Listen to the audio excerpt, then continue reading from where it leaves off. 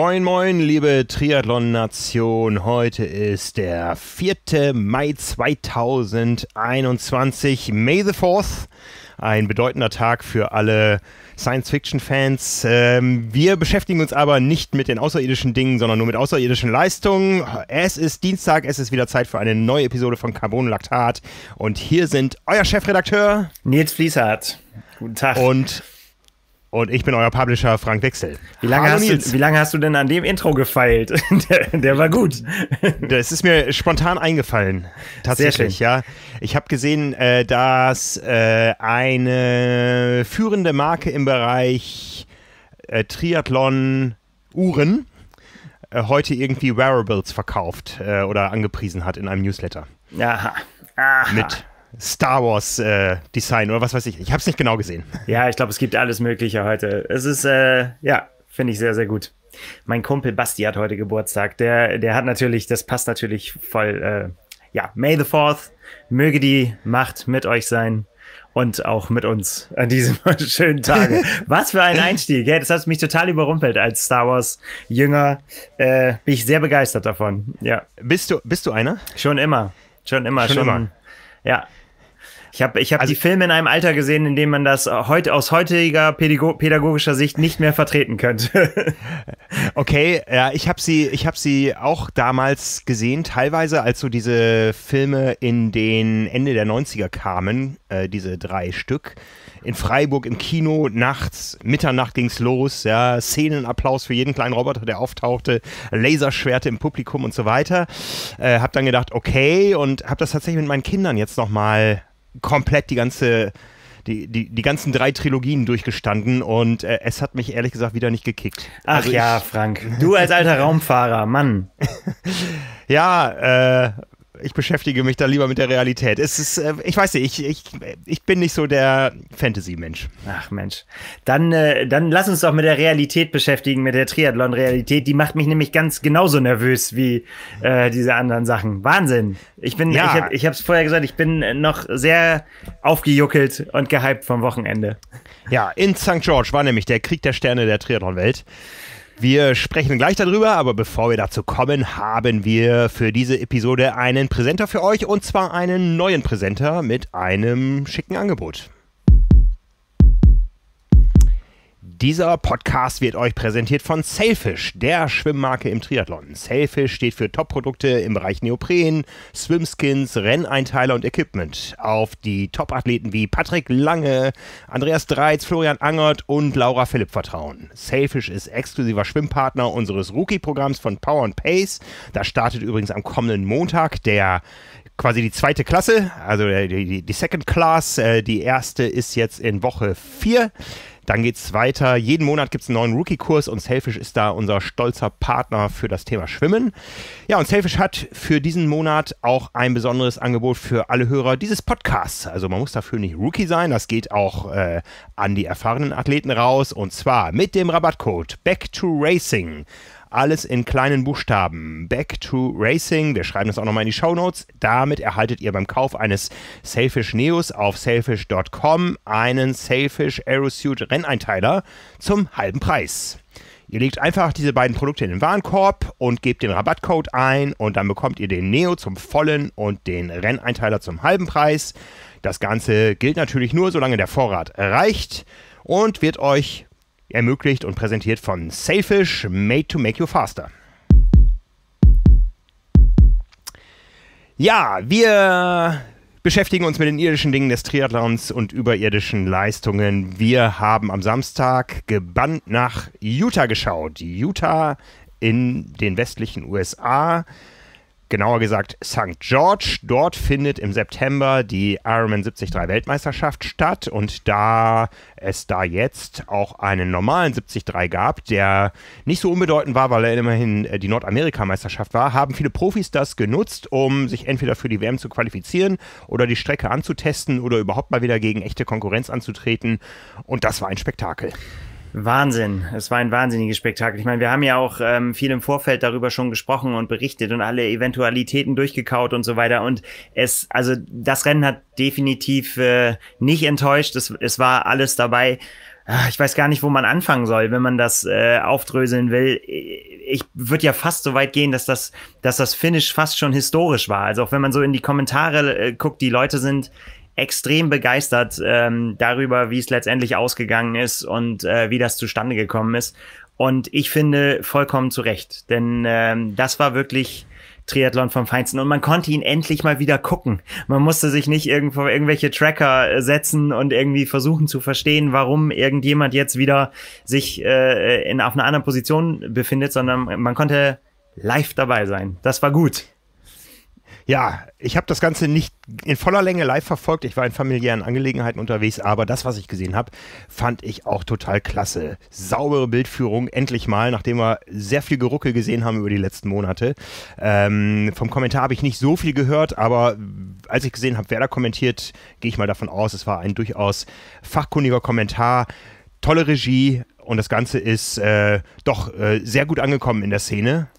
Zumal ja, das Rennen eben auch seinen Beitrag geleistet hat. Mit, mit allen, äh, äh, ja, wie Social Media natürlich funktioniert. Natürlich gibt's auch da wieder Leute, die sich äh, darüber beschweren und äh, sagen, warum ist denn dieser kostenlose Livestream jetzt äh, nicht so, wie ich ihn mir wünsche. Klar, man kann immer an allem rummeckern. Äh, wie gesagt, ich war extrem erfreut darüber, dass ich überhaupt dazu gucken konnte. Denn das wäre sehr schade gewesen, wenn man das nicht live gesehen hätte. Also es wäre auch wirklich der Leistung nicht gerecht geworden. Ja, wie wollen, sollen wir es machen? Sollen wir ja, erstmal müssen wir mal sagen, wer gewonnen hat. Für, für also sollte, es Menschen geben, die das noch nicht mitbekommen haben. Ähm, gewonnen hat Lionel Sanders. Und zwar in einem epischen Fight auf der Laufstrecke gegen ganz viele Leute, aber letztendlich durchgesetzt hat er sich dann vorne gegen Sam Long und auf Platz drei dann Magnus Ditlev. Ähm, ja, lass uns ja, erst übers, übers, übers Männerrennen sprechen, oder? Genau, reden wir darüber. Das war äh, spannender, wenn auch das Frauenrennen nicht von der Spitzenleistung her weniger hochklassig war. Äh, aber spannender war es bei den Männern. Ja, also es, es hatte mal wieder, ohne dass wir jetzt den Rennverlauf im äh, Detail jetzt hier nacherzählen müssen, das kann man alles nachlesen auf äh, trimark.de, aber ich finde, es sind so, so viele Erkenntnisse äh, rausgekommen, über die wir äh, sprechen können. Ähm, ja, trotzdem vielleicht von vorne nach hinten. Also ich meine, letztendlich ähm, richtig abgegangen ist es tatsächlich dann beim Radfahren, ähm, wo es, wo es, ja, wo viel so passiert ist, wie man das ja, wie man es erwartet, ne? Also dass einfach ähm, die in Anführungsstrichen Überbiker vorne wegfahren. Ähm, Magnus Ditlev, wir haben viel über ihn gesprochen, der hat auf dem Rad äh, vorne äh, wie die Feuerwehr versucht, das zu machen, was er, was er machen muss, um einfach vorne zu bleiben. Ähm, und dahinter dann, und das ist vielleicht so die erste Erkenntnis, über die wir vielleicht mal sprechen können, bildet sich dann irgendwann mit sehr, sehr guten Radfahrern und äh, äh, Schwimmern, die immer weniger Defizite haben. Also das, was äh, vor ja vor ein, zwei, drei Jahren noch war, irgendwie so, ja, äh, äh Athlet XY kommt irgendwann aus dem Wasser und hat so viel Rückstand, dass das schon nichts mehr wird. Ähm, das gibt's nicht mehr so richtig. Irgendwie selbst die in Anführungsstrichen schwächeren Schwimmer sind dann äh, mittlerweile so gute Allrounder, auch in den anderen Disziplinen und so gute Athleten, dass sie einfach auffahren und dann sieht man eben das, was wir jetzt auch wieder gesehen haben und über das wir schon viel gesprochen haben. Man sieht eine lange Kette von Top-Favoriten, die ja, die den, den Führenden jagt und ähm, ja, wir haben da schon drüber gesprochen. Wer, wer sich vorne zeigt, ist dann häufig am Ende der Dumme. ja, weil, weil man einfach so viel Kraft lässt, ähm, ja, dass es äh, dann einem eventuell zum Verhängnis werden kann. Ne? Und mhm, mhm. ich habe mich mal so durch die Kommentare auch und, und wie sich die Profis dann darunter unterhalten, wenn sie sich dann, dann gegenseitig schreiben, durchgeguckt. Ähm, und eigentlich sind sich alle einig, dass das mit, mit der aktuellen Abstandsregelung keine ja, was soll man sagen, keine fairen Bedingungen mehr sind. Es ist, nein, das kann man so vielleicht nicht sagen. Es ist, steht ja jedem frei, sich da einzureihen oder vorne wegzufahren, aber es, ähm, es ist mittlerweile eine Situation erreicht, wo, der, wo die Dichte einfach so hoch ist an, an, an guten Leuten. Ähm, und wir wissen, dass wenn du in so einem Pack drinne steckst, an dritter, vierter, fünfter, sechster Position, dass du dann einfach Windschatten genießt, obwohl du dich an die Regeln hältst. Ja, da, dafür sind die einfach mittlerweile so schnell. Ähm, und ich stelle mir tatsächlich die Frage, wie man da rauskommen soll. Ich habe auch keine Patentlösung. Ich meine, wir haben schon öfter Rennen jetzt gesehen mit, äh, mit 20 Metern ähm, Windschattenbox, aber ob das überall umzusetzen ist und auch bei den Teilnehmerzahlen und so weiter, auch schwierig. nee, ich sag mal, je, je relevant, relevanter das Rennen, desto wichtiger natürlich eine Einhaltung der Regeln. Aber das wissen wir alle von Hawaii, ähm, von normalen 73-Weltmeisterschaften, wo es nicht gleich so in die Seealpen geht wie in Nizza. dass, äh, ich meine, mitten in der Lava in, in, in Kona, da hast du einfach dann mal eine, eine Perlenkette von 20 Athleten ja, wo sich relativ wenig bewegt und wo ganz klar die Leute, die vorne arbeiten, äh, deutlich mehr Leistung bringen müssen als die, die hinten äh, sind. Du hast aber auch überhaupt keine Chance, wenn du jetzt sagst, okay, jetzt übernehme ich mal die Initiative, von hinten nach vorne zu fahren. Ja, da bist du, da bist du auf, dann ist das Rennen nach 50 Kilometern vorbei, wenn du an 20 Leuten vorbei musst. Das ist, ja, das, das, das, das ist einfach so die, die Decke, nach der man sich strecken muss, was, ähm, was das Reglement da betrifft. Am Ende sehen wir ja dann bei den großen Rennen doch immer, dass sich dann die Leute, die das perfekte Gesamtpaket abbilden können, durchsetzen. Aber das war jetzt ja nur die Nordamerika-Meisterschaft. Das heißt, da war noch ja. kein Norweger und sonst was am Start. Wer weiß, was da passiert im September. Das wird ja nicht weniger äh, dicht von der, von der äh, Leistungsfähigkeit nee, her. Ganz und gar nicht. Das wird vollkommen irre. Also ich weiß überhaupt nicht, also das, das wird vollkommen irre. Das war es ja jetzt schon. Ja. Ähm, und, und ich, ich, ah, das, das wird so gut. Da, da, also da bin ich, ähm, ja, weiß ich gar nicht. Also ich habe es ja vorhin im Eingangs gesagt, ob das vielleicht schon, äh, ja, eines, ja, soll man immer nicht mit Superlativen um die um sich werfen, aber alle sprechen immer über äh, die 73 WM Südafrika, dass das eins der besten Rennen gewesen sei. Ähm, also vom pff, hier vom vom Kampf und von dem, was was da geliefert wurde, ist das bestimmt ähnlich gut gewesen. Ja, jetzt werden wieder viele sagen, na, da war kein Frodeno dabei und hin und her. Ja, aber ähm, umso spannender wäre es zu sehen, wie es wird, wenn dann noch die paar Fehlenden noch sind. Aber wir waren beim Windschatten. Ähm, es ist tatsächlich so, mal Sam Long zum Beispiel hat gesagt, er hat sich dann irgendwann auch äh, dann dann äh, an die an die Spitze gesetzt, auch in der in der Verfolgung, weil er gesagt hat, er hatte also sicherlich wäre es schlauer gewesen, ähm, sich einfach irgendwo einzuordnen und zu sparen. Aber er hat gesagt, er hatte echt Angst davor, dass er äh, dann eben ein, ein Drafting-Vergehen begeht, weil das einfach schnell mhm. mal passieren kann, wenn es dumm läuft. Ähm, und sei es eben dann so, wie man, man, man schert kurz aus. Ich meine, letztendlich Beckegaard ist zum Verhältnis geworden. Äh, man schert aus, ist der Meinung, das ist ein guter Zeitpunkt zum Überholen und dann bist du rein und dann merkst du, oh, das war keine gute Idee. Und äh, manchmal kann man es dann auch nicht durchziehen und aber mhm. zack, bist du halt in der Box gewesen und hätte es durchziehen müssen und ja, und das bedeutet Zeitstrafe. Und äh, also wie gesagt, Sam Long, äh, bei dem habe ich es nur gelesen, weil er sich damit beschäftigt hat. Er hat halt gesagt, er, er hat irgendwann die Entscheidung getroffen, er muss überholen und musste dann zehn Leute am Stück überholen.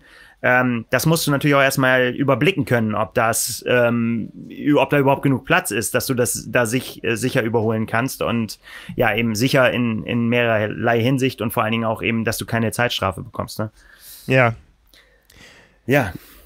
Ja, wie gesagt, beim, beim Ironman ist es auf der ersten Hälfte genauso. Da gibt es aber noch die zweite Hälfte, wo sich das zerbröselt in solchen Rennen wie 73 St. George nicht unbedingt in voller Breite, dass da das ganze Feld auseinanderfällt. Ne? Ähm, hier kam es zu einer super, super packenden Laufentscheidung. Ja, also ich meine, und da war es eben auch mal eben gut, die Bilder auch zu sehen, weil das sagt nämlich auch dann eben viel mehr aus irgendeine Liste mit Sekundenabständen. Wenn du dann auf einmal siehst, dass da, ähm, also Magnus Ditlev lange vorne weggelaufen, er hatte halt einfach diesen Vorsprung, ne, hat sich den, hat sich den erarbeitet, ähm, hat es geschafft, da eben vorne zu bleiben und äh, wir haben es das Szenario haben wir ja schon öfter gesehen, ne? dass er vorne bleibt, aber eben, dass er dann auch relativ schnell eingeholt wurde. Und ich, mir ging es dann tatsächlich so, ich habe es geguckt und habe gesagt, so irgendwie, gut, Daumen sind gedrückt, einfach für seinen, für seinen Kampfgeist, dass er, dass er das, äh, dass er das schafft.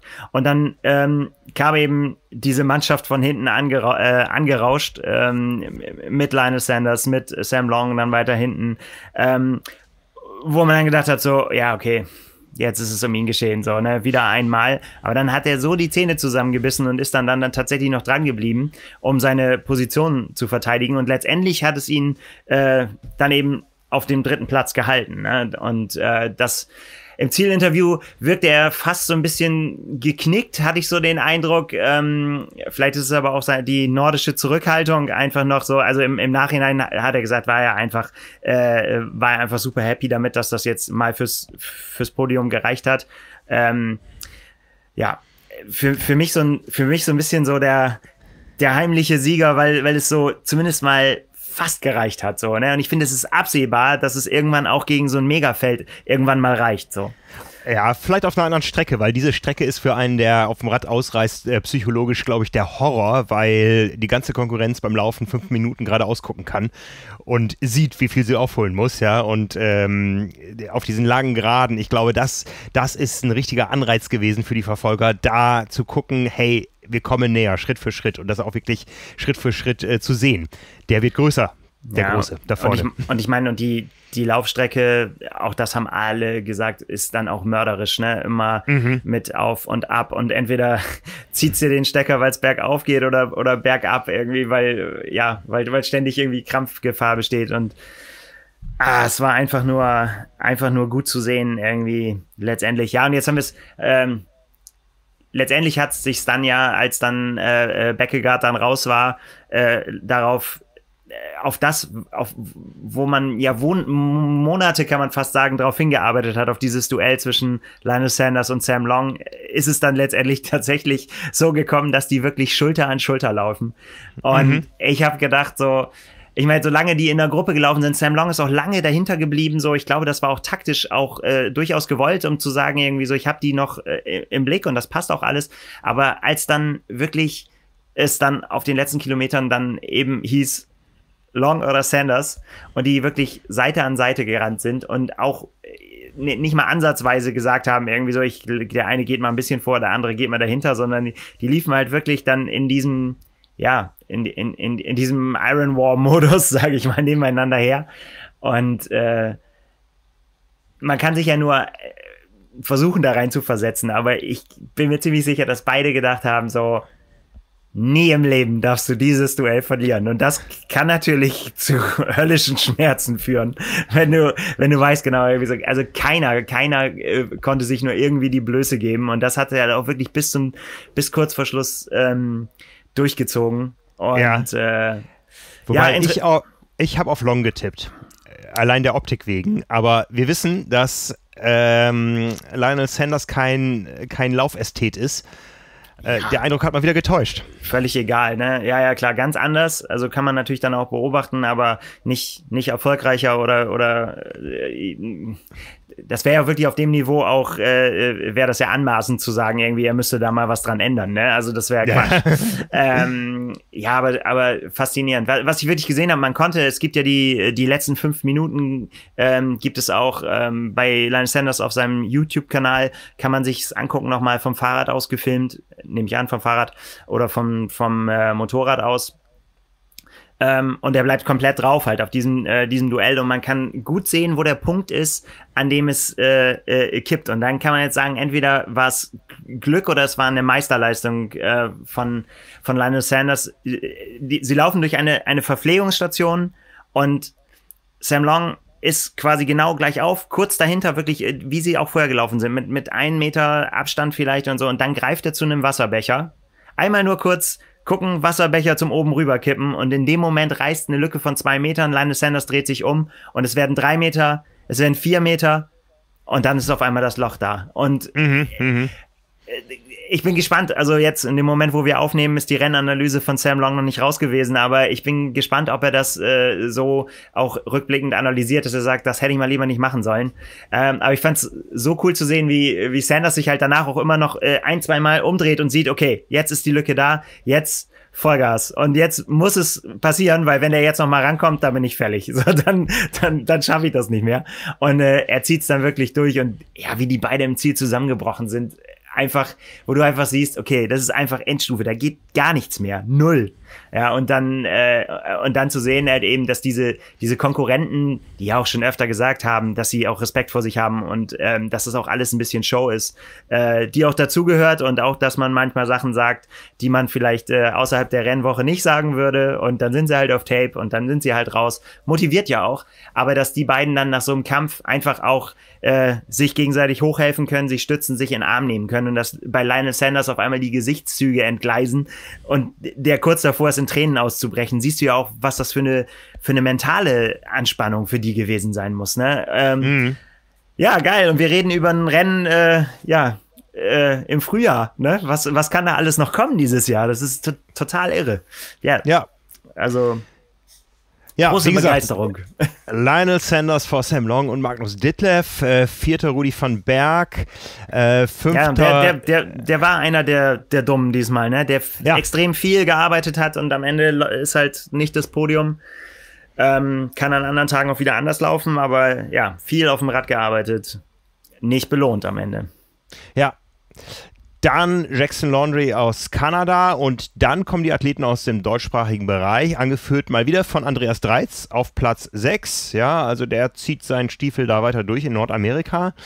Ähm, siebter Florian Angert, achter Paul Ruttmann aus Österreich, äh, wieder mit einer bärenstarken Radleistung, nicht ganz die schnellste Radzeit gefahren diesmal, den- aber bestätigt das, was er gezeigt hat äh, schon in Dubai. Und den Quali-Platz geholt, ne? Für Und den Quali-Platz 73 geholt Das war das große Ziel.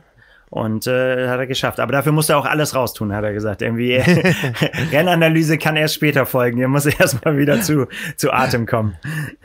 Ja, ja, wie gesagt, äh, Dreiz und Angert, Platz 6 und 7 ist, glaube ich, ein durchaus respektables äh, Ergebnis in diesem Rennen. Mehr, würde ich sagen, viel mehr. Also ich meine, man, man darf jetzt auch nicht den Fehler machen. Ähm, ich meine, ich habe es gerade eben gesagt, wir sind im Frühjahr und äh, Ja. Andi Dreiz sammelt Rennkilometer um Rennkilometer und es wird das Rennen kommen, da bin ich mir ganz sicher.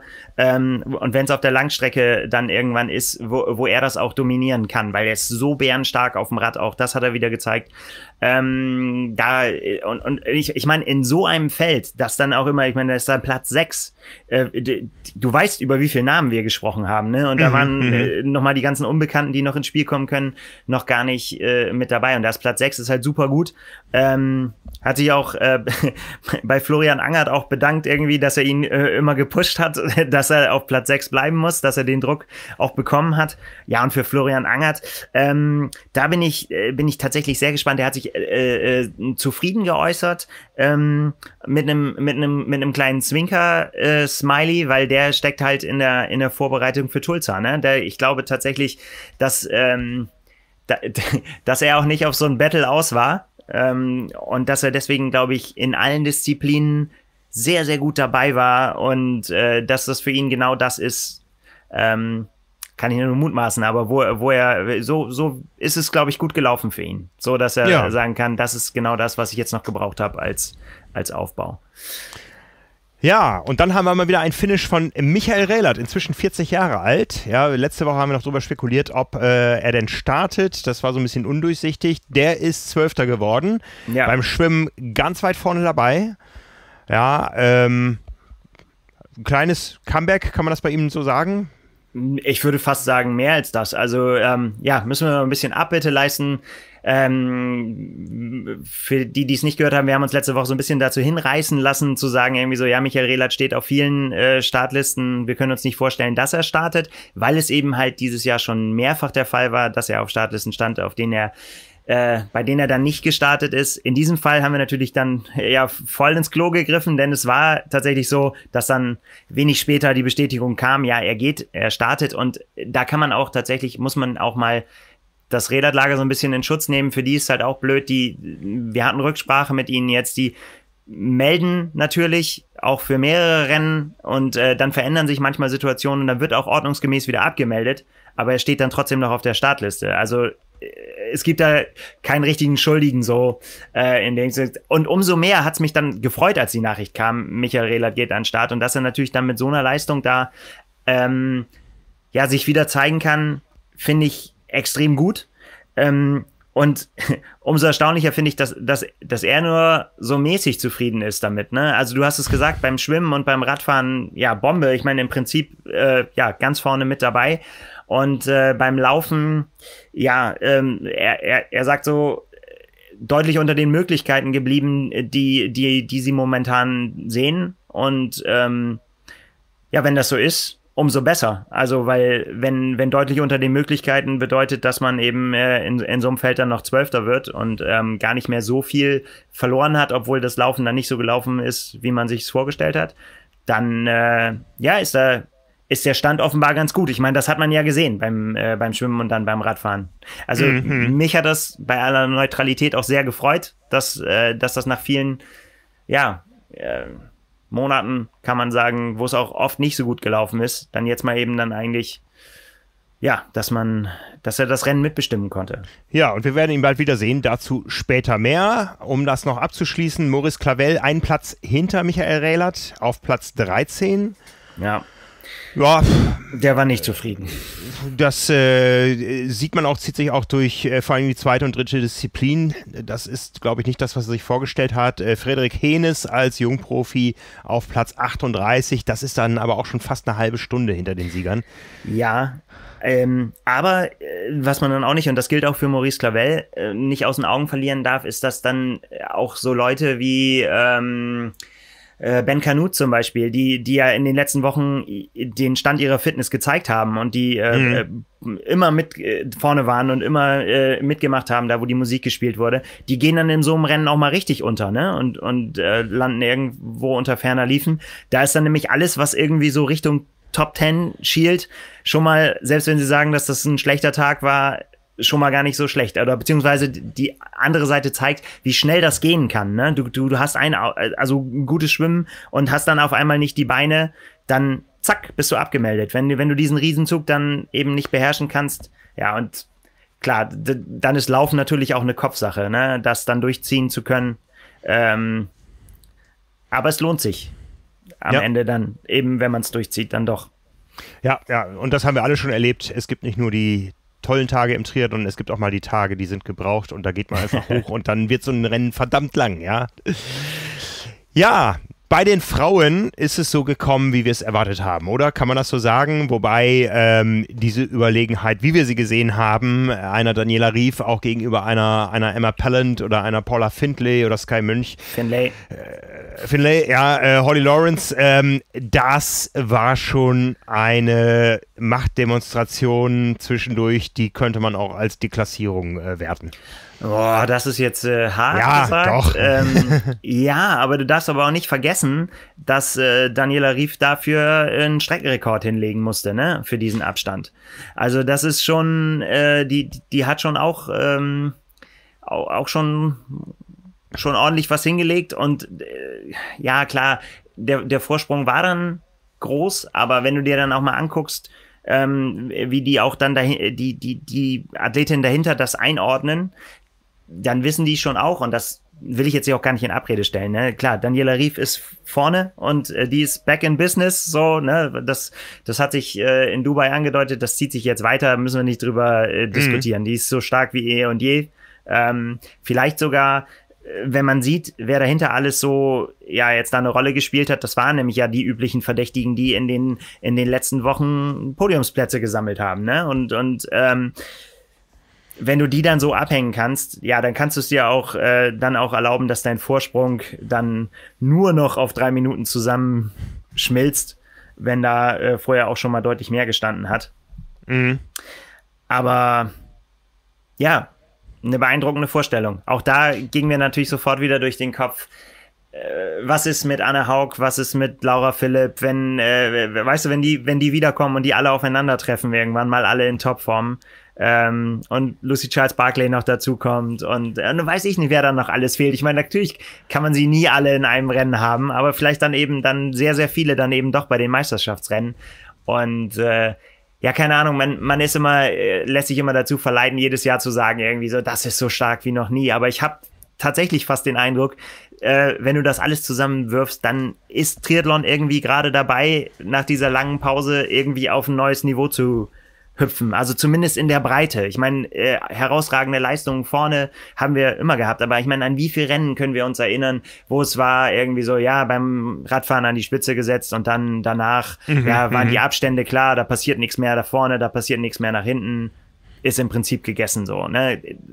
Und irgendwie habe ich das Gefühl, momentan, es gibt Positionswechsel, du siehst andauernd, also jetzt gerade, wenn wir nochmal aufs Männerrennen switchen, das haben wir in Daytona gesehen, das haben wir in Miami gesehen, äh, das haben wir jetzt gesehen, wir haben das, wir haben enge Finishes in, in Dubai gehabt und so weiter. Du siehst andauernd Gruppen auf der Laufstrecke, die um den Sieg kämpfen. Das ist, äh, das war ja früher was Besonderes auf Mittel- und Langdistanz. Mittlerweile siehst du das fast in jedem Rennen und das äh, ist so von Zuschauerperspektive ist das echt genial. Ich meine, du hast jetzt hier äh, Jenny, Jenny Metzler auf Platz zwei, die ist zweite in Texas geworden, zweite in, in, in St. George.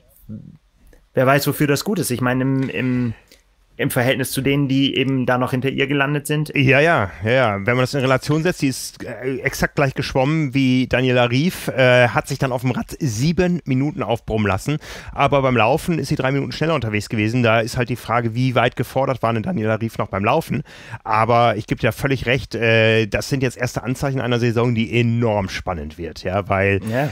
Wir haben es noch nicht erlebt, dass sie wirklich alle da waren, ja. Ähm, und ich sage mal, so Rennen wie Daytona und Miami äh, die waren toll, aber das ist, glaube ich, noch so ein bisschen ein Sonderformat des Triathlons, äh, wo Rennen anders verlaufen. Ich glaube wirklich da draußen, wie wir es jetzt in, in St. George gesehen haben, da laufen die Rennen dann doch noch mal ein bisschen anders und von daher ähm, freuen wir uns, wenn das auch weitergeht auf den, auf den Speedways, aber ähm, die, die Rennen, die einfach auch dann, ich meine, das ist ja auch eine spektakuläre Kulisse da gewesen in St. George. Also ich, ja. ich mag das ja, so ein bisschen Wüste und so. Also äh, nicht wegen Star Wars, aber da gibt es das auch.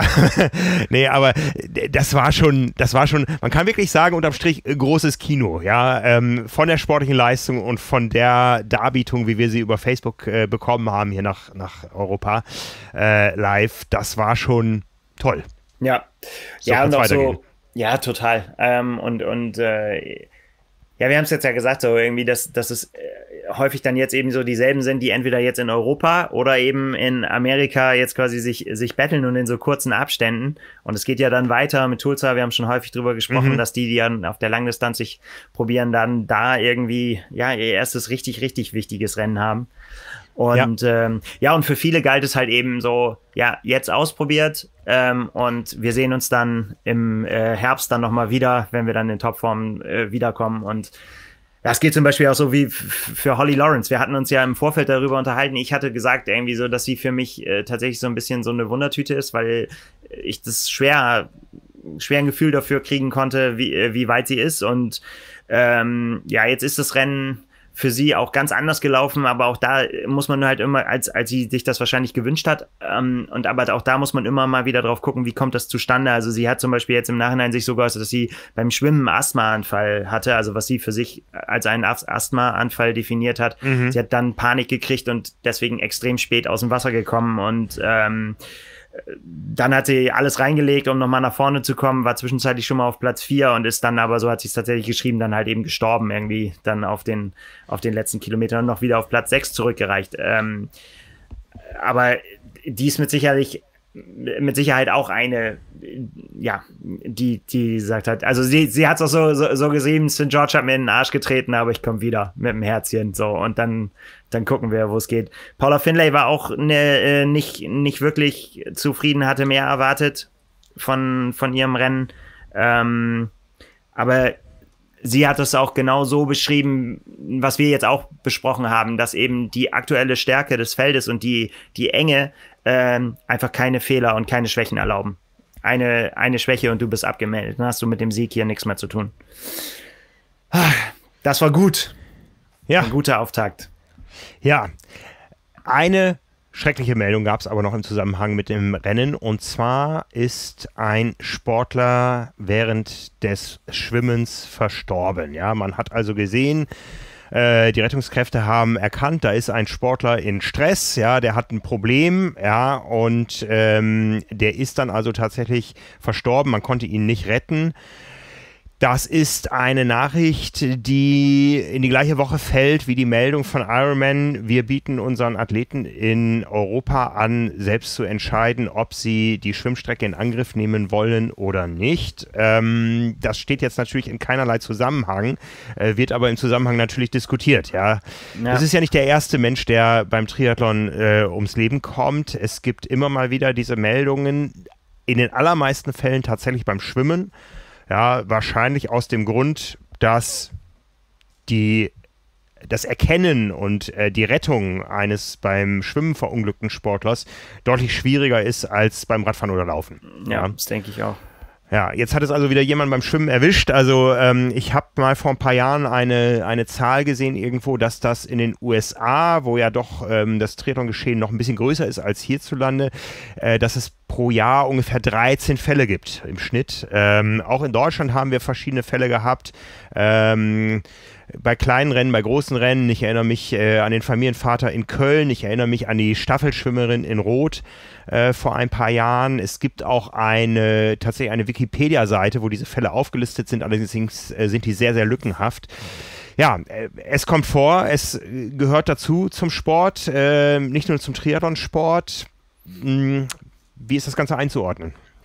Das ist eine gute Frage. Ich habe mich ja hier letzte Woche relativ weit aus dem Fenster gelehnt und habe gesagt, ähm, dass ja, äh, ich denke, dass eine, äh, gerade wenn wir über die Mitteldistanz reden, immer eine Strecke von 1,9 Kilometern keine so unmenschliche Leistung ist, dass man da direkte Zusammenhänge ziehen könnte oder dass man sagen kann, dafür muss man jetzt besonders gut trainiert sein, damit man das äh, überhaupt irgendwie schaffen kann und dass es äh, quasi gefährlich ist, jetzt weil man nicht trainiert hat, äh, sich sowas zuzumuten. Und da habe ich natürlich jetzt nochmal drüber nachgedacht, äh, weil mir natürlich das auch so ein bisschen, ja, ist mir schon auch nahe gegangen, habe dann überlegt, irgendwie, äh, weil es natürlich schrecklich ist, was da passiert ist. Aber auf der anderen Seite komme ich nach wie vor zu dem gleichen Schlu äh, Schluss. Ich finde, ähm, dass das eine mit dem anderen nichts zu tun hat. Also, dass selbst wenn man nicht trainiert hat, und ich glaube, dass das für die meisten in den USA nicht gilt, ja, weil da ja ganz andere Bedingungen waren.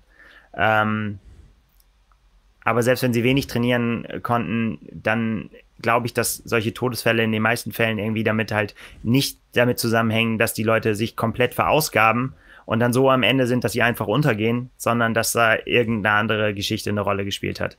Ich meine, wir mhm. haben das mhm. selbst bei, bei Profi, äh, bei Profis, bei Norman Stadler zum Beispiel, dem fast die Halsschlagader geplatzt wäre damals und der sich eigentlich gesund, Otter, gef ja. mhm. äh, gesund gefühlt hat und da nichts von wusste.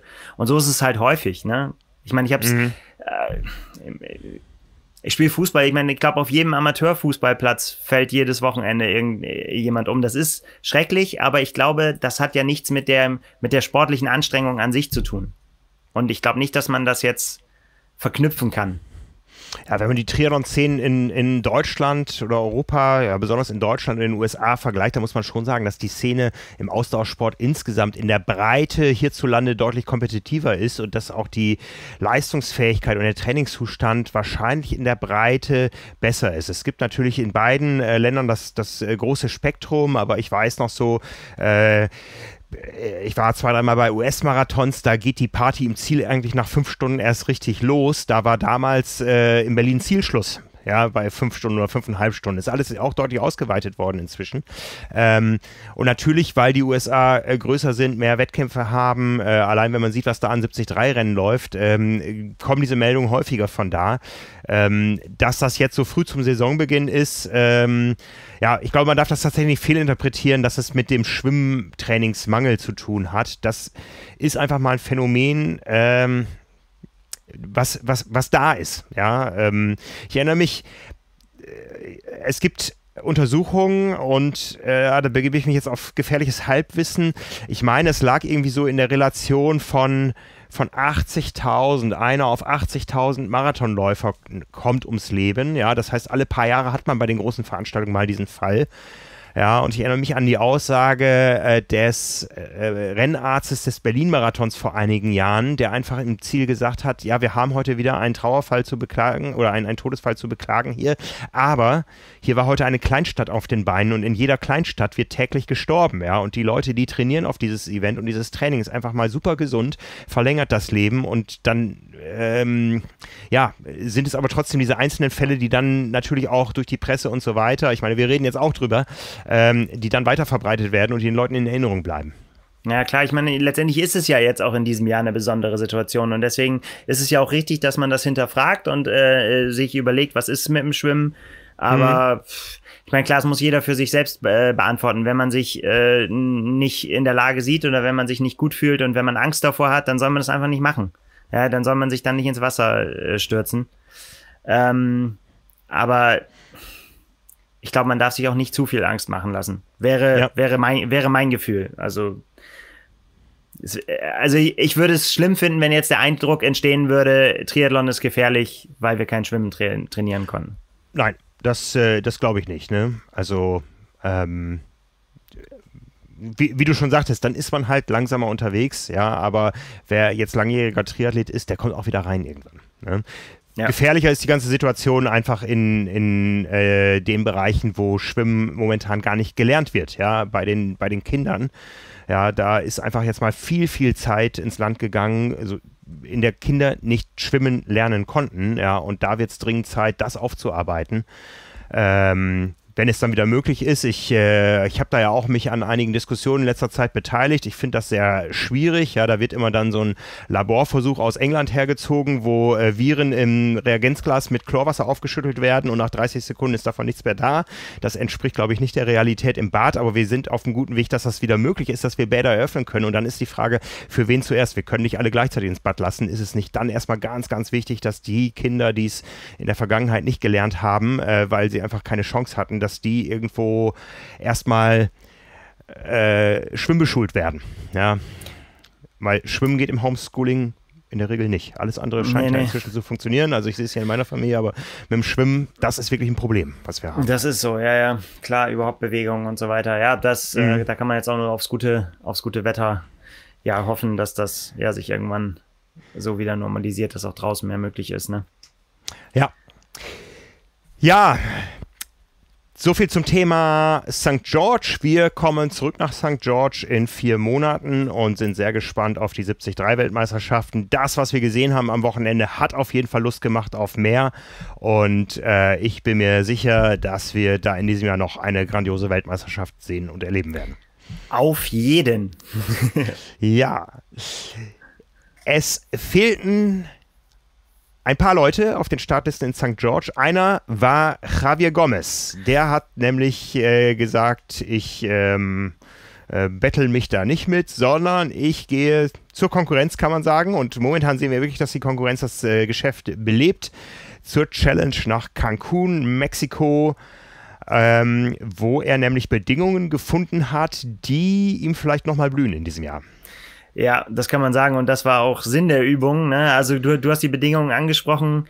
Ähm, das heißt Hitze, das heißt Luftfeuchtigkeit und das heißt beides zusammen. Und im Fall von Cancun war das äh, morgens um 6.30 Uhr 32 Grad und 96 Prozent Luftfeuchtigkeit. Ähm, und das Ganze hatte eben, der ganze Sinn dieser Übung für Javi Gomez war halt einfach äh, Hitzerennen zu sim äh, simulieren und einfach sich dem äh, zu stellen. Er hatte auch, wir hatten auch schon hier drüber gesprochen, ähm, vorher trainiert und da auch schon mal durchblicken lassen, dass das kein Spaß ist, äh, aber ja, notwendig und ja, es ist, es ist ihm offensichtlich gelungen. Also der Test äh, hat funktioniert, er hat gewonnen und äh, sieht sich damit gut gerüstet. Aber er hat auch gesagt, ähm, ja, diese, diese Hitze hatte er vorher nur ein einziges Mal in Malaysia erlebt. Ansonsten war es äh, das heftigste, was er je gemacht hat. Und er war auch ja auch schon auf Hawaii. Aber das scheint noch eine Stufe obendrauf gewesen zu sein. Ja, ja. Ich habe auch mal einen kleinen Wettkampf in Cancun gemacht tatsächlich. Ähm, ich war zwei oder dreimal in Cancun noch zu ITU-Zeiten, als ich für den Weltverband unterwegs war. Und es gab in Cancun mal sowas ähnliches äh, wie den Vorläufer von dem, was wir dieses Jahr als Olympiapremiere erleben werden. Ein äh, Team Relay. Ich glaube, das war damals noch gar nicht mal mixed aber es gab eine deutsche Mannschaft und jetzt muss ich überlegen, ich glaube, die bestand aus Daniel Unger, Andreas Rehlert und Mike Petzold, wow, würde ich sagen. Hochkarätig. Ja. Also die haben auch schon sowas gemacht, äh, drei kurze ähm, Rennen hintereinander, ja, jeder hat äh, Schwimmradfahren laufen hintereinander gemacht und das Ganze gab es damals auch für Corporate Teams, ja, und ähm, in unserer Klasse, ich weiß gar nicht mehr, wie das war, habe hab ich mit einem Corporate Team, was sich vor Ort erst ergeben hat, die Silbermedaille äh, gewonnen. Wir sind also zweites von zwei Teams geworden.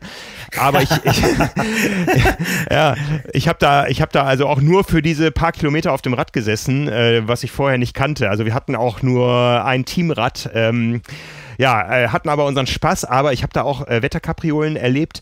Ich weiß noch, ich bin äh, rausgeschwommen und der Himmel zog sich zu. Und auf dem Rad gucke ich irgendwann nach links und sehe ein Tornado über dem äh, Golf. Ne? Also da war so eine richtige Windhose und ähm, bin also noch bis zum Wendepunkt gekommen und es fing auf dem Rückweg sowas von an zu regnen, dass ich beim Laufen schon knietief im Wasser war. Also ja, ein, ja. ein, solches Wetter im Rennen habe ich nie wieder erlebt. Ähm, ja, irgendwo glaub, in der Schublade liegt noch die Silbermedaille von einer ITU-WM, äh, die keinen Wert hat, aber Spaß hat es gemacht. Ja, sehr gut. Ja. Bei Javier Gomez äh, liegt irgendwo der gute äh, Siegerhut, der da obligatorisch ist, der Riesensombrero. ähm, ja, der war gut auf jeden Fall. Muss man sich immer fragen, wie muss man wahrscheinlich im Flieger dann einfach aufsetzen, weil man ihn nirgendwo reintun kann. Aber gut, das ist nun mal so, wenn man sich äh, dem stellt. Vielleicht passt er in die Laufradtasche. Ja, vielleicht. Ja. Genau, um ja. es komplett zu machen, hat gewonnen vor äh, Rüdi Wild und vor dem äh, unendlichen Andy Potts, der mittlerweile auch schon 44 ist, wenn ich das richtig äh, gesehen habe. Ähm, aber immer noch äh, gut ist dafür, ja, auch dem einen oder anderen hinter sich zu lassen. Also der ist immer noch sehr, sehr äh, kompetitiv dabei. Ja. Ja, kompetitiv geht's weiter am kommenden Wochenende. Wir blicken nach Italien an die Adria nach Riccione. Riccione. Ein weiteres Challenge-Rennen und ein erster Start in diesem Jahr für Sebastian Kienle. Ja, ich glaube, ähm, oder man, man weiß es ja, er hat ja, er hat ja auf Instagram gepostet, irgendwie in seiner Story konnte man sehen, wie er St. George äh, verfolgt hat. Ähm, ich glaube, das hat ihn hart getroffen, könnte ich mir vorstellen, dass er, dass er da nicht dabei sein konnte. Und ich glaube, nur dieser, dieser Funken, dass er quasi äh, gesund geschrieben wurde für, für Riccione, hat, hat ihn da von einer tieferen Krise bewahrt, weil äh, da ist natürlich, das, das ist natürlich was, wo, wo ein äh, Wettkämpfer wie Sebastian Kienler auf jeden Fall dabei sein will, ne? wenn, äh, wenn sich da die Creme de la Creme in die Schnauze haut, dann ist er, dann äh, ist er dabei. Aber jetzt ja, sehen wir ihn. Wir haben ja, wir haben ja drüber gesprochen. Ähm, die Achillessehne ist besser. Äh, ob das bedeutet, dass es alles ganz weg ist, da weiß ich nicht, aber da wird er uns auch so im Detail äh, vermutlich uns und der Konkurrenz nicht so verraten, aber ja, ich glaube, er wird kein Risiko eingehen. Wenn er, wenn er nicht fit wäre, würde er nicht starten und äh, ja, ich glaube, auch da ist es einfach, einfach schön, äh, ihn wiederzusehen auf der Rennstrecke. Ja, ja, also der fehlte uns noch in diesem Jahr. Wir haben viele schon gesehen, aber auf Sebastian Kienles ersten Auftritt freuen wir uns natürlich. Sind sehr gespannt. Äh, wie gesagt, ein weiteres Challenge-Rennen, auch sonst nicht so schlecht besetzt. Ja, es ist ja, wir haben ja vorhin davon gesprochen, dass, äh, dass es diese, ja, diese Zweiteilung gibt quasi, ne, zwischen, äh, zwischen der USA-Gang und der, der Europa-Gang. Ähm, und hier haben wir jetzt auch ein paar ähm, äh, Namen auf der Startliste, die äh, jetzt auch schon in Gran Canaria waren und äh, auch da schon äh, für Furore gesorgt haben. Also ähm, Giulio Molinari ist dabei, der für den hat es dann am Ende gar nicht, äh, ist glaube ich erst Zehnter geworden auf Gran Canaria, aber es ist ja einer, wo wir auch im Vorfeld gesagt haben, der, der kann sowas, ne? Also der ist auch jetzt hier zur Strecke können wir gleich nochmal gehen. Auch da ist ein bisschen, ein bisschen äh, Höhenmeter mit drinne, Hügel, ein fieser, steiler Anstieg. Ähm, ja, wie gesagt, Molinari dabei, äh, Pablo da Pena, Zweiter in äh, Gran Canaria, der ist mhm. sicherlich sehr stark einzuschätzen und ähm, ja, auch einer, der, der jetzt ja, der schon vielen großen Namen das Leben schwer gemacht hat. Und das wird er auch garantiert da tun. Also ähm, ja, einer der Favoriten. Dann äh, äh, Thomas Steger, da äh, bin ich so ein bisschen, da bin ich tatsächlich hängen geblieben und habe gesagt, so ja, stimmt, Thomas Steger, weil der, der hatte, äh, der war auf einem sehr, sehr aufstrebenden Ast und 2020 war er für ihn, ja, in, mit allem drum und dran, ein, ja, nicht erfolgreich. Und jetzt steht er hier wieder auf der Startliste. Also ich bin sehr, mhm. sehr gespannt, ähm, ja, wo da die Reise weitergeht. Ähm, Peter Hemmerich ist mhm. auch einer, über den wir schon sehr oft gesprochen haben dieses Jahr, der ähm, auch jetzt auf Gran Canaria ähm, sehr viel gezeigt hat, sich, sich auch äh, gezeigt hat, dass er durchaus besser in Form ist, aber der auch wieder ein DNF hinnehmen musste. Und ähm, ja, bei uns hier im Norden sagt man dreimal das Bremer Recht. Auf Englisch gibt's das auch. Ähm, ich weiß nicht, ob es in, in Hamburg das auch geht. Bedeutet, dass man äh, im dritten Versuch äh, klappt's dann endlich. Mal gucken, ob es bei ihm so ist. Das ist ja auch einer, der äh, Sebastian Kienle sehr gut kennt. Die haben sich auch schon häufig gebettelt und äh, für spannende Duelle gesorgt. Mhm. Ähm, ja, wird sich zeigen. Und ansonsten auch äh, äh, tatsächlich Andi, Andi Böcherer wieder dabei, ähm, mhm. der auf Gran Canaria geblieben ist und da weiter trainiert hat und ähm, da auch äh, da gesagt haben, ja, er, er, sieht sich auf dem richtigen Weg und ähm, ja, jetzt äh, äh hat er halt hier eine weitere Chance, ist ja Fünfter geworden in Gran Canaria, also ähm, durchaus ja den Anschluss da äh, auch gefunden, auch in, in, einem sehr, sehr stark besetzten Feld. Ja. Und Frederik ähm, Funk. Genau, Frederik Funk äh, hat es, glaube ich, auch so, ich glaube, er hat so ein, so ein Kacke-Emoji gepostet nach Gran Canaria. Also das ist einfach mal komplett äh, nicht so gelaufen, wie er sich das äh, erhofft hat, nachdem er da im, im, äh, in der Sierra Nevada im Höhen Höhentrainingslager war. Ähm, müßig jetzt oder nicht von uns auch nicht einsehbar äh, zu sagen, woran es gelegen hat, aber er hat halt jetzt ähm, die nächste die nächste Gelegenheit, will das auf jeden Fall zeigen, dass, dass er mehr drauf hat.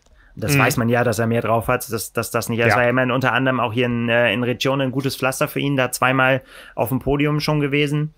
Ähm, ja, äh, spannend zu sehen. Letztendlich, äh, oder ich hätte schon in Gran Canaria gedacht, dass wenn man, äh, ich meine, das macht man ja nicht ohne Grund, so ein Train Höhentrainingslager und dann gibt's halt zwei Möglichkeiten. Entweder es ja, es hat jetzt andere Gründe gehabt, warum es in Gran Canaria nicht funktioniert hat oder es hat was mit dem Höhentrainingslager zu tun gehabt, was ich nicht hoffe, weil das wäre wär dann extrem blöd gelaufen. Mhm. Aber hört man ja auch immer wieder, dass, äh, dass Athleten das nicht so gut vertragen, wie sie sich das gewünscht hätten. Das weiß ich aber nicht, das ist jetzt spekulativ, kann ich nicht sagen. Ja. Ähm, aber da äh, ist er auf jeden Fall ja auch einer, der da äh, richtiges Wort mitsprechen kann in, in der Konkurrenz, ja. Mhm. Und ja, wir, wir, wir sehen, du hast es am Anfang durchklingen lassen, äh, wir, wir sahen wieder den Namen äh, Michael Rehlert auf der, auf der Startliste und haben uns auch hier wieder gewundert, so. Aber ja, wir haben uns rückversichert. Michael Rehlert wird an den Start gehen. Der äh, ist nochmal radeln gegangen mit Andreas Reitz und äh, ja, und hat dann die strapaziöse Rückreise auf sich genommen, mhm. um jetzt hier in Italien wieder anzugreifen. Spannend. Also, Spannend. ich weiß nicht, wie viel Regeneration man als Profi braucht, kann ich mich nicht reinversetzen. Ich kann mir vorstellen, dass das ganz schön wenig ist nach so einem harten Rennen. Aber das muss er, kann er besser einschätzen. Wie Auf gesagt, jeden Fall spannend. 40 Jahre alt, äh, Transatlantikflug dazwischen. Wir wissen alle, die Rückkehr aus den USA ist immer schwieriger, als da anzukommen, was so den, den Jetlag und so betrifft. Ne? Also ja, gucken wir mal, was, was äh, er da zu leisten imstande ist. Ne? Ja, auf also, jeden Fall. Aber ja, schön, ihn wiederzusehen. Genau, mhm. nach wie vor äh, äh, cool, auf jeden Fall, weil er ja auf jeden Fall ja auch einer ist, der, der, der da ordentlich mitmischen kann, ja.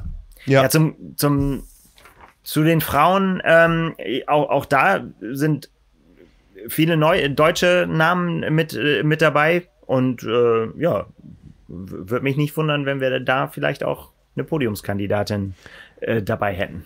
Ja, Laura Zimmermann steigt in die Saison ein. Caroline Lerida ist dabei. Also da äh, Lena Berlinger noch aus, aus deutscher Sicht, ja, da bin ich sehr gespannt, wie das ausgehen wird. Genau. Ansonsten noch ähm, Alexandra Tondeur habe ich mir noch aufgeschrieben, äh, Sarissa de Vries, die ja auch in ähm, Gran Canaria mit auf dem Podium gestanden hat. Also ja, insgesamt würde ich sagen, dass Männerfeld auch ein bisschen stärker besetzt, auf jeden Fall, auch mit richtig, richtig großen Namen. Ähm, ja, darf man gespannt sein. Warst du das schon mal in der Ecke? Ja, ne? Du warst da schon mal. Ich war in Cervia, äh, das ist, glaube ich, ein bisschen weiter südlich. Ähm, also eins von beiden, auch an der Adria, äh, damals zur Premiere des Ironman Italy, äh, der ja inzwischen ein Mammut-Event geworden ist, äh, in dem man noch den 5150 und den 73 am gleichen Wochenende macht. Und äh, ja, das war ein wunderbares Erlebnis damals. Ich habe die Bilder gesehen jetzt hier vom, vom Strand von Riccione, das sieht genauso aus wie in Cervia, also eine, eine ähm, Triathlon-begeisterte Gegend, eine Ausdauerbegeisterte Gegend, natürlich über den Radsport auch. Und ähm, ja, ähm, das wird sicher ein schönes Triathlon-Fest, bin ich mir sehr sicher. Ja, die Streckenführung ist ähm, äh, ja, äh, ja, Schwimmen im Meer, also quasi Standard. Ähm, wobei, ja, wobei, ja. wobei, ja, wobei, wobei, wobei, wobei, ja, sag du. ja, also das war nämlich ähm, schönes Meer damals äh, in, in äh, Cervia beim Ironman, aber das ist verdammt flach. Ja, und okay. das war nicht so einfach. Es gab nämlich einen Zwei-Runden-Kurs mit Landgang und ich weiß nicht, wie viele Meter der 3,8 Kilometer man damals im, im knietiefen Wasser gewartet ist, was furchtbar anstrengend war. Ja, also quasi viermal beim Start, vor Landgang, nach Landgang. Äh, also es war ein sehr, sehr langer Landgang dadurch geworden, ähm, äh, wobei man immer noch nasse Füße hatte und, und hinten raus wieder. Also das war nicht so einfach. Ne? Ich weiß nicht, ob es äh, genauso da ist, ähm, aber so ohne war das nicht. Aber ja, flach war es Wasser aber auch der Sand unten runter. Ja, also die schwimmen äh, ein, ein, Stück raus und dann schwimmen sie quasi parallel zur Küste. Und dann wieder 100 Meter quasi raus und dann wieder parallel zur Küste mhm. wieder zurück. Und dann, ähm, genau. Das ist der Schwimmkurs. Ja, und auf dem Rad geht's halt raus. Erstmal ähm, ein kleines Stück, ein kleines äh, Rausführungsstück. Und dann kommt man ähm, tatsächlich in die Hügellandschaft, die einen dann raufführt Richtung San Marino. Und äh, das ist dann quasi noch eine, eine Schleife, die zweimal gefahren wird und dann fährt man wieder das Stück zurück. Ähm, und unterwegs, ja klar, es, also es steigt an, logischerweise äh, hoch. Äh, und ähm, zwischendrin, wenn ich das richtig gesehen habe, gibt's dann nochmal einen, äh, ja, so, so ein 200 Meter Buckel, der aber dann 13% Steigung hat. Also das ist schon so ein, so ein kleiner, mhm, mh, da muss man... Mhm Wobei, so wie ich Sebastian Kiene kenne, nimmt er so viel Schwung von unten mit, dass er dann wahrscheinlich die 200 Meter schon alleine wieder hochrollt. Ähm, und dann äh, ist er dann auch nicht mehr ganz so schlimm. Aber ansonsten sind das natürlich Punkte, bei 13 Prozent ist ja schon kein Spaß mehr. Ne? Das ist dann was, äh, wo dann auf einmal äh, ja das Körpergewicht dann schon auch eine Rolle spielt und die Bergflöhe dann doch da ein bisschen leichter hochkommen. Ja, ja. Ja, und das Laufen ist, äh, kann man zusammenfassen, in Promena Promenade rauf und runter, vier Runden immer rauf und runter. Man sieht sich ständig und hat immer äh, wieder dann den Wendepunkt am Ende. Mhm. Ja, und wir sind sehr gespannt, ob wir da einen weiteren deutschen Sieg sehen. Ja. Was sagst ja. du? Mm, gut, Kienle kann man jetzt nun gar nicht einschätzen, ne, was äh, die Vorbereitung für ihn bedeutet hat. Ne, aber ähm, ich meine, auch ein Sebastian Kienle kommt nicht äh, nur dahin, um zu gucken, ob seine Wade einen Halbmarathon hält und seine Achillessehne. Ja, also ähm, äh, war viel schnell, dass ich das gefragt habe. Ja, ja, ja. Also ich, ich bin jetzt mal ganz mutig. Ich tippe auf einen deutschen Doppelsieg durch Laura Zimmermann und Andi Bücherer. Ja, das ist doch mal ein Tipp. Ja, das ist, äh, ja, warum nicht? Warum nicht? Also, ich weiß noch nicht, ob, ob Andreas Beucherer schon ganz da ist, um quasi dann eben so Leute wie, wie Pablo Tapena dann äh, Tapena hinter sich zu lassen. Ähm, ja, mal schauen. Ja. Aber es ist ja nicht so, also klar hat er Siege im Tank. Also ohne Frage. Und mhm. ja, Sebastian Kiene zu unterschätzen, wäre grob fahrlässig, aber da ist es tatsächlich so, wie du äh, gerade gesagt hast, man, man weiß es halt nicht, ne? Aber klar, in Topform wäre er natürlich der Top-Favorit auch. Eindeutig. Ja. Ja. Das werden wir sehen, wie die Form, wie es um, um wie es, wie es um die Form bestellt ist. Ja. Ja, ja. Ja, also wir sind in Saisonvorfreude und was uns auch noch mal ein bisschen gesteigert hat in unserer Vorfreude ist eine Veröffentlichung, die gestern oder heute, glaube ich, ist es offiziell geworden, vom der PTO kam in Sachen Collins Cup. Die haben nämlich ein ganz kurzes Erklärvideo gemacht, wie dieser Collins Cup funktioniert. Äh, ja. Süß animiert, sag ich mal. Also ähm, äh, ein paar pfiffige Ideen drin, aber danach weiß man jetzt endlich mal, wie das ganze Ding funktioniert, wie es äh, gewertet wird und hat auch so ein bisschen Lust gemacht. Also ähm, cooler Sprecher, der sich sehr beeilen musste, um in den zwei Minuten alles unterzubringen.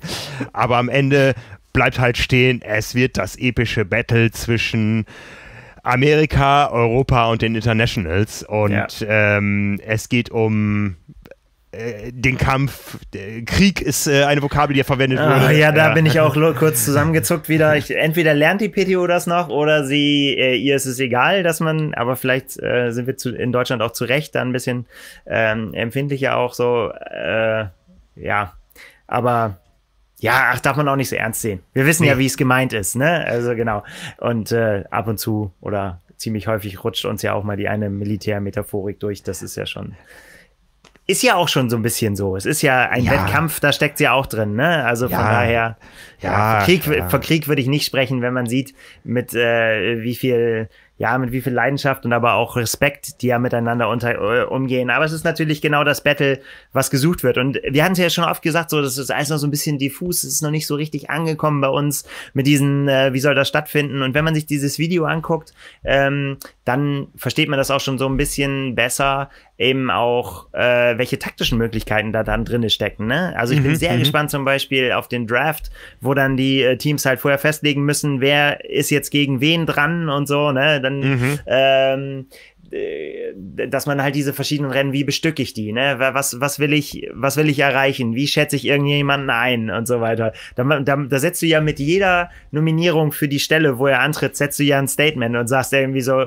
hier habe ich den ausgewählt, der entweder das Ding gewinnt oder ich habe den hab das quasi abgeschenkt und gesagt irgendwie so, okay, den Punkt holen wir auf gar keinen Fall, aber wir wollen denjenigen schlagen oder diejenige ja. und so weiter. Ja. Also allein dieser Draft wird absolut irre. Das wird ja. gut.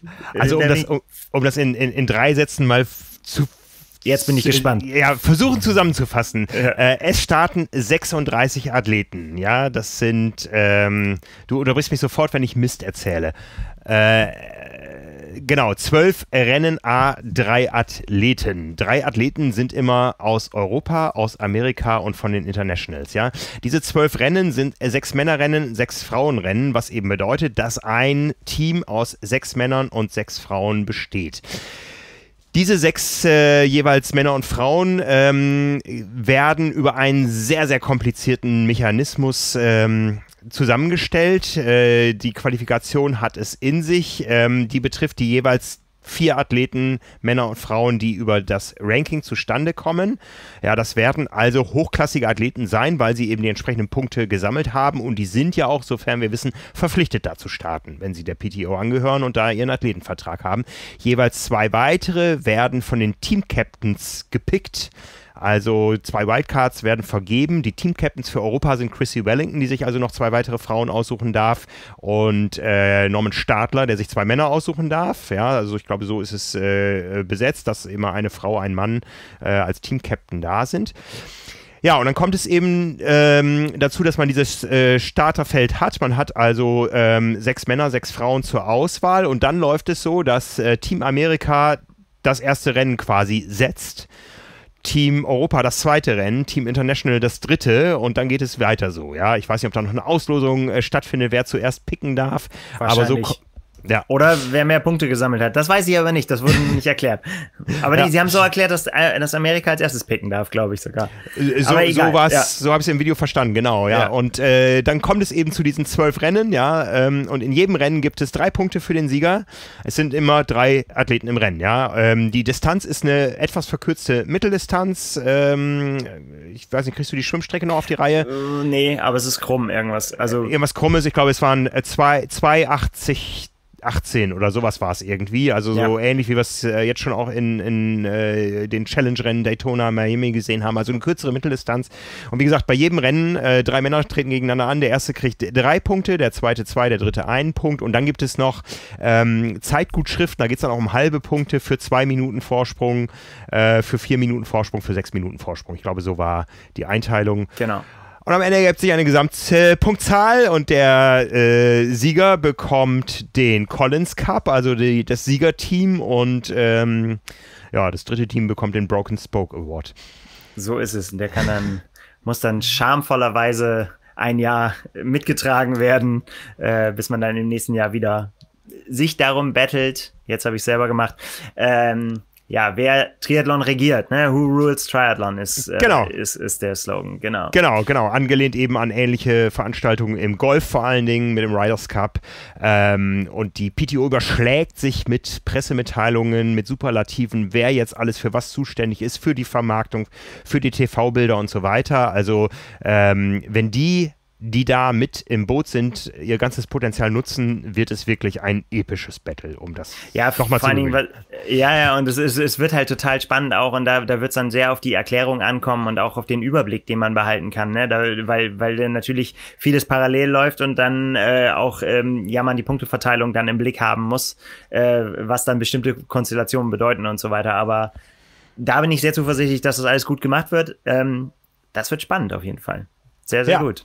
Ja, also ein Highlight im Sommer auf jeden Fall. Das kann man jetzt schon, äh, das kann man jetzt schon so sagen. Auf jeden Fall, ja. Also da wird Triathlon-Geschichte geschrieben, so oder so, ja. Ähm, das wird äh, ein neues Event im Triathlon und bei dem Input, den die PTO und andere da reinstecken, glaube ich auch, dass es eine gewisse Nachhaltigkeit hat.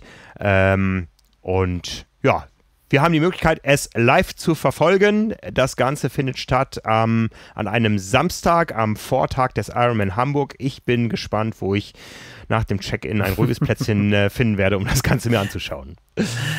Ja. Ja, apropos Triathlon-Geschichte. Triathlon-Geschichte geschrieben hat auch Natascha Battmann und dafür wird sie in diesem Jahr noch gewürdigt. In der Tat, Ironman hat seine Hall of Fame-Aufnahmen für dieses Jahr verkündet und dabei ist eben Natascha Bartmann, die. Ge ja, du, äh, erzähl du was über diese Legende. Du hast sie viel, viel häufiger gesehen als ich.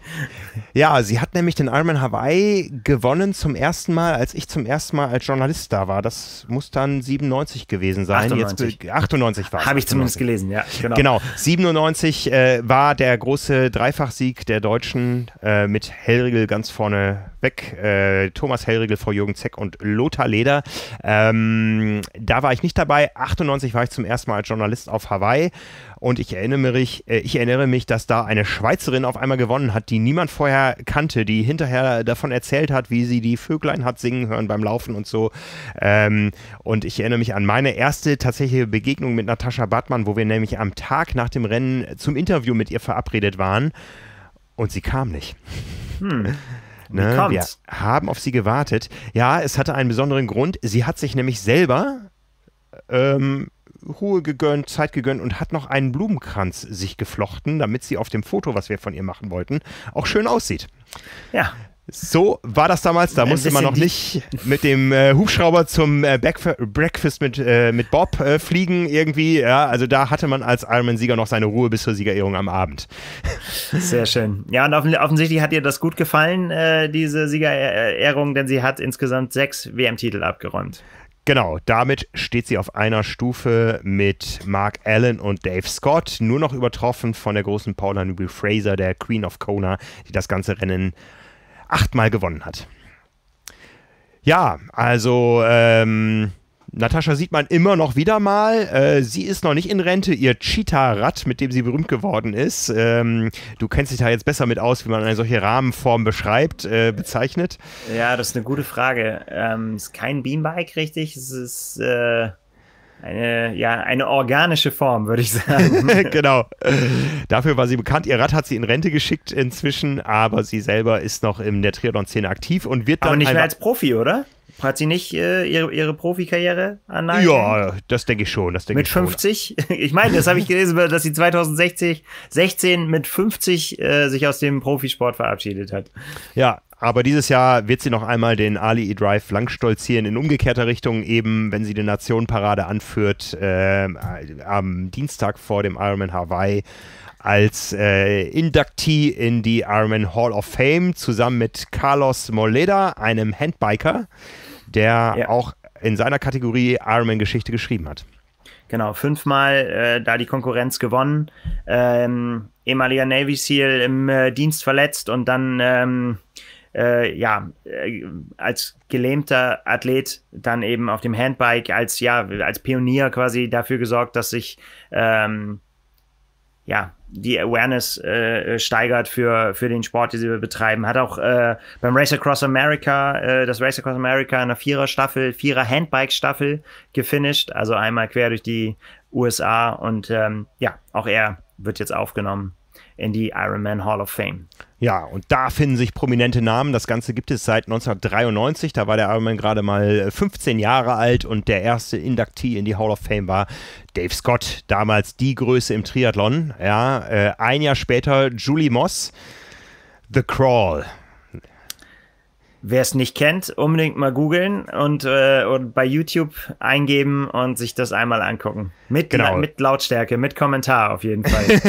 ja, da gab es äh, zwei, zwei äh, Geschichten dieser Art. Julie Moss war die erste, die hat den Triathlon quasi hochfähig gemacht, weil sie es äh, über ihren, äh, ja, ihr Zielkrabbeln ähm, in die großen Medien geschafft hat und damit wusste auf einmal halb Amerika, was Ironman ist. Ja, ähm, das hat auch einen jungen Mann äh, beeindruckt, Mark Allen, der sie dann auch später geheiratet hat und der 1997 in die Hall of Fame eingeführt wurde. In dem Moment war Paulina, Paula Newby Fraser schon drin. Ja, äh, 98 dann äh, John and Judy Collins. Ähm, John Collins ist der, der der Legende nach 1978 irgendwann gesagt hat, als sich die Navy-Soldaten gestritten haben, äh, wer jetzt nun der bessere Sportler sei. Ähm, da hat er irgendwann gesagt, äh, wir machen einfach alle drei Disziplinen hintereinander und äh, whoever finishes first, we will call him the Iron Man. Ja, und dafür ist John Collins mit seiner Frau Jodie äh, 98 in die Hall of Fame aufgenommen worden. War ja auch eine gute Idee. Ja, war eine, war eine Idee. Ne? War, war, gut. Ja. 99 dann äh, Valerie Silk, äh, langjährige Renndirektorin. Äh, Bob Babbitt, über den haben wir eben gesprochen. Breakfast with Bob, ähm, die Triathlon-Medienlegende der USA, seit 2002 in der äh, Hall of Fame. Gordon Haller, der erste Sieger 2003 aufgenommen, 2004 Greg Welsh, der erste Mensch, der sowohl den ITU-Weltmeistertitel als auch den Ironman Hawaii gewonnen hat. Ähm, sehr lustiger wir, Moderator. Ja. den man auch sehr häufig an Strecken auch äh, hört. Ja. Äh, immer wieder gut nicht nur ein lustiger Moderator, sondern auch ein lustiger Mensch überhaupt. Also ähm, ohne den würde der Triathlon anders aussehen. Ja, ähm, auch äh, ohne Mike Rayleigh 2011 als äh, Legende der Ziellinienmoderation in die Hall of Fame aufgenommen worden ja sehr unterschiedliche äh, Dinge, die man dafür leisten können muss. Ne? Ja, also ja. es ist wirklich sehr von von herausragenden sportlichen Leistungen über organisatorisches äh, Teilnahme einfach äh, ja einfach äh, im, ja wie Mark Riley einfach ja die Stimme äh, des Sports zu sein. Mhm. Bob Babbitt hat ja beides gemacht. Also er ist ja äh, auf der einen Seite eben äh, ja bekannt für seine seine Interviews, aber auch er war ja einer der äh, der ganz frühen Finisher. Ja, äh, ja. auf Hawaii. Ja, auf jeden Fall. Wen haben wir noch in der Liste? Ähm, du sagtest schon ganz verschiedene Funktionen. Peter Henning ist dabei. Das ist der, der äh, für die ikonischen Bilder des Ironman gesorgt hat. Also den habe ich jetzt lange nicht mehr gesehen da, aber der war immer der, der äh, dafür gesorgt hat, dass es eben diese epischen Bilder aus der Lava gab und die auch weltweit irgendwo Verbreitung gefunden haben. Ne? Ähm, dann, äh, ich, äh, ich würde sagen, das waren die ersten Europäer, Georg Hochegger, Helge Lorenz und Stefan Petschnick. Äh, den dritten kennt man noch, Stefan Petschnick als Ironman-Europachef heutzutage. Das ist das Gründungstrio der, äh, des Ironman Klagenfurt. Ähm, ja, äh, haben, haben quasi den, den Sport in Europa mit richtig äh, groß gemacht. Ähm, dann haben wir noch äh, Peter Reed, der das Rennen dreimal gewonnen hat. Chrissy Wellington als ja. Äh, die Frau, die mal sowas war wie Daniela Rief heute, würde ich sagen. ja, ne? kann man glaube ich so sagen, ja. Ja, äh, die immer noch die Weltbestzeit auf der Langdistanz hält in Rot. Ähm, ja, und dann jetzt die letzten Inductees. Ähm, da gehörte zum Beispiel Tim de Boom dazu, der. Äh, der letzte Amerikaner, ne? Der letzte Amerikaner, ja, und der, der das Jahr im 2000, äh, der das Rennen im Jahr 2001 gewonnen hat, als man gar nicht wusste, ob es überhaupt stattfinden kann nach äh, den äh, Anschlägen auf New York am 11. September. Ja, ähm, Aaron Baker ist dabei als erste Nicht-Amerikanerin, die das Rennen äh, gewonnen hat. Äh, und wie gesagt, in diesem Jahr, na, letztes Jahr gab es keinen kein Inductee natürlich, genau. weil es äh, keine Veranstaltung gab, aber im Jahr davor ist äh, Kenneth Gask mit in die Hall of Fame aufgenommen worden. Das ist der Mensch, Äh, der stets bestgekleidete Mann in Kailua Kona, immer mit Fliege. Ähm, das ist der Mensch, der den Ironman auf Lanzarote hochfähig und groß gemacht hat. Äh, langjähriger Sportdirektor des Club La Santa und äh, Vater des Ironman Lanzarote. Naja. Du kennst sie alle. Ich kenne, ja, fast alle, fast alle. Viele auch persönlich, die da auf der Liste stehen und ähm, ja, immer wieder spannend zu sehen, wen es dann trifft. Ja, und wenn man dann aufgenommen wird, kriegt man äh, ja so ziemlich das Coolste, was man äh, überreicht kriegen kann, wenn man in eine Hall of Fame aufgenommen wird. Die kriegen alle dieses äh, schöne Hawaii-Hemd, ne, mit dem ja. sie dann, dann auf der Parade unterwegs sein können. Äh, das sieht immer gut aus. Also wenn man so ein Hemd hat, dann kann man äh, sich schon selbst noch so ein bisschen auf die Schulter klopfen und sagen, war wohl doch nicht alles so ganz schlecht. nee, nee. Ja, auf jeden Fall coole Bilder, auf jeden Fall jedes Mal wieder, weil ich meine, wenn die dann da langlaufen, äh, das ist dann, dann wirklich äh, ja, geballte Legenden. Ansammlung. Ja. das ist wirklich, ähm, ja, fast schon ein bisschen unwirklich, das zu sehen. So viel, so viele Leute dann auf einen Haufen, die einfach im Triathlon so viel bewegt haben. Ja, ja. Ja, apropos Legende, ich habe einen kleinen äh, Tipp für die nächste Woche. Rollenfutter. Da geht es mal nicht um Triathlon. Äh, nächste Woche, Mittwoch ist es, glaube ich. Ähm, passt das? Ja, ist die Premiere eines Films mit Christoph Strasser. Was sagt dir der Name? Christoph Strasser ist Mr. Race Across America ja, Mr. Mr. Alles, was länger als 1000 Kilometer auf dem Rad ist, glaube ich, ne? Ja, yeah, so ungefähr. Ja, ähm, der ist über viele, viele Jahre verfolgt worden von einem österreichischen äh, Filmteam. Da hat auch, und äh, darum kam ich jetzt über den Triathlon da drauf, äh, Andreas Niedrig eine gewisse Rolle gespielt, der ja auch das äh, Race Across America schon in verschiedenen Funktionen erlebt hat. Ähm, und dieser Film sollte eigentlich durch die Kinos ziehen und da das momentan nicht möglich ist, läuft der Film auf, äh, im, im Livestream äh, als Live-Premiere nächste Woche Mittwoch um 19 Uhr in Spielfilm, Spielfilmlänge. Also da wir ab nächste Woche Sommerpause machen mit unseren Swift Live Rides, äh, kann ich das nur empfehlen, nächste Woche vielleicht einen Tag später auf die Rolle zu gehen, trotzdem den Monitor anzumachen, den zweiten Monitor und Christoph Strasser dabei zuzugucken, wie er unzählige Male das Race Across America dominiert. Ähm, wir stellen das Ganze noch in die Show Notes. Ich habe Ausschnitte aus dem Film gesehen.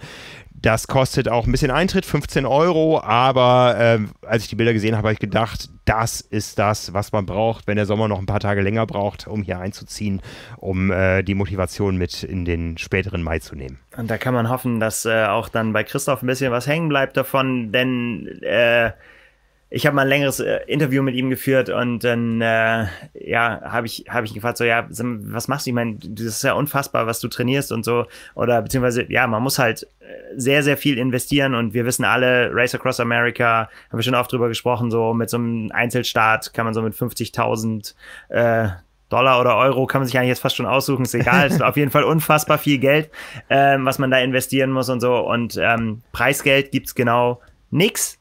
Sponsoren interessieren sich dafür wenig. Die geben vielleicht ein bisschen Ausrüstung und äh, sagen, ja, kannst du hier von mir noch den Anzug haben oder weiß was ich.